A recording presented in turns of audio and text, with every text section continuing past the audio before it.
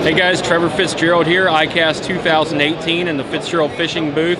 This is a new product we just released here at ICAST. It's the Mega Jig Tungsten. It's a tungsten head with a double weed guard on it to make it super weedless. You can fish it through all kinds of heavy cover like wood, grass. It's got a great heavy duty hook on it. Can be fished with fluorocarbon or braid. We're offering it in half ounce, a three quarter ounce, and a one ounce. So it's the Mega Jig Tungsten. Check them out on tackledirect.com.